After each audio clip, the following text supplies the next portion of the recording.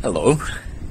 So instead of going back home to Japan after leaving Greece, I came to different country in uh, Central Europe because of a another opportunity that I was given.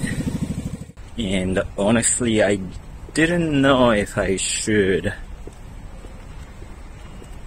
take this opportunity or not when I was basically invited. But I just thought in life, I think there's more, significantly more things that is annoying or challenging or unknown than what we know and what we can.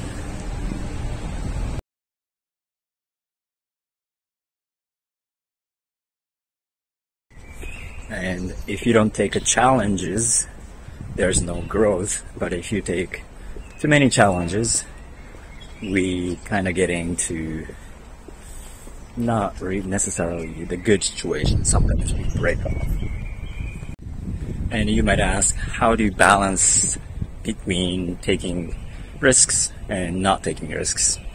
Well, I cannot answer that because every single person has different approach.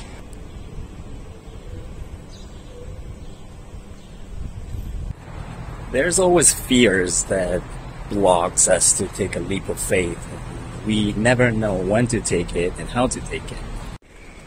I mean, even though I'm kind of traveling around the world and taking a lot of opportunities as much as possible, it is always and still fears that blocks me to make a decision.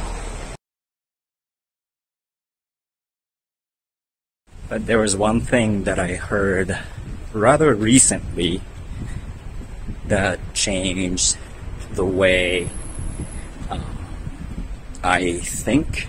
The one goes More is lost in a process of indecision than making a wrong decision. So, go out there and take a risk. There's massive opportunities waiting for you. That's it for today. Ciao now.